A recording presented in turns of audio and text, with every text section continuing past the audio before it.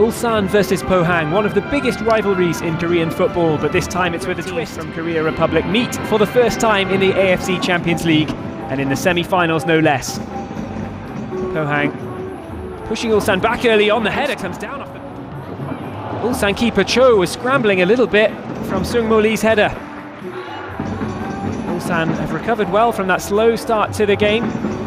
Here they come with save off target too many misplaced passes holding the teams back in that first half.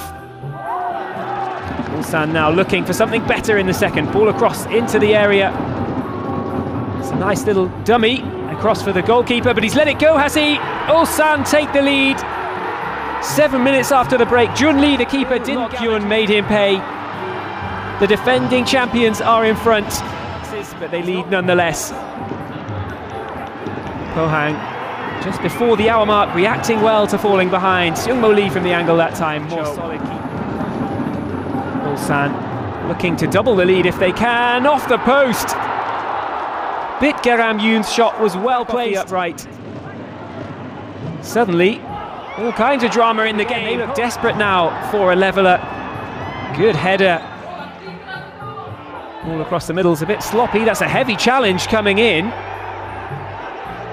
Player down. What does the referee decide here? Red card. Won Dujae. Studs up, foot high. How much of a turning point could that be? Pohang chipping it in towards over the bar when he might really have hit the target. Time beginning to run out for Pohang. Free kick whipped in towards Grant again. And Pohang have pulled themselves back from the brink of defeat. Lifeline is from the defender Alexander Grant. Hyun Woo Cho finally beaten. Pohang fancy a bit more here into the goalkeeper's arms.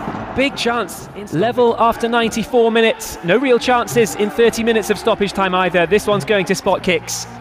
Ulsan up first with Dave Bulthuis over the top. Advantage Pohang. Lifted it high. Pohang perfect after four penalties. Kang Sang Woo seals the place in the final. Pohang defeat the reigning champions. They are the thorn in Ulsan's side, just one game away from the AFC Champions League trophy.